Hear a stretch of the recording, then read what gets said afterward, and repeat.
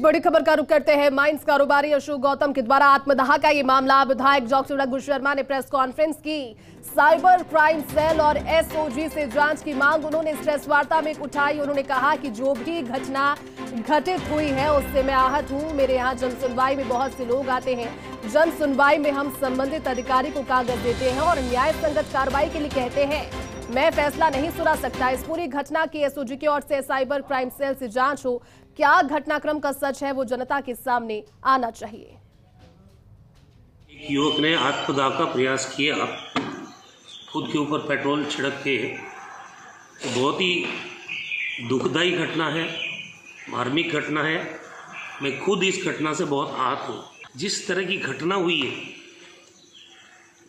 मैं समझता हूँ कि इस पूरी घटना की एसओजी से जाँच होनी चाहिए।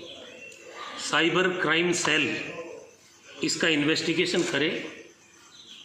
उस युवक के लगातार संपर्क में कौन कौन व्यक्ति थे?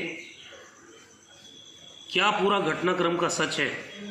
वो जनता के सामने आना चाहिए।